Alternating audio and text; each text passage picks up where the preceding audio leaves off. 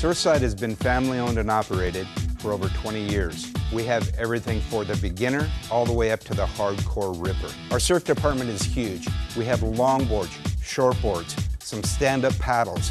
If we don't have it, we can find it for you or order it for you. We have thousands of skate decks in our skate department, from the hardcore new school street rippers, vert ramp guys, to longboard cruisers. We got it all.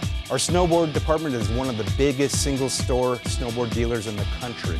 Need some shoes? We got tons. With a full line of sunglasses and watches, our board short selection is truly equal by none. We have a complete line of women's and girls' clothing as well. We have a full service repair shop.